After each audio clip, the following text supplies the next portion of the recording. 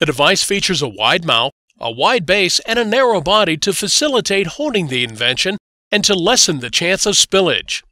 It is also provided with an oversized easy grip handle for use by those with limited dexterity. The device provides oversized measuring gauges with incremental markings for accurate urine measurement. The device also features two interchangeable lids to allow either controlled pouring or complete sealing of contained urine.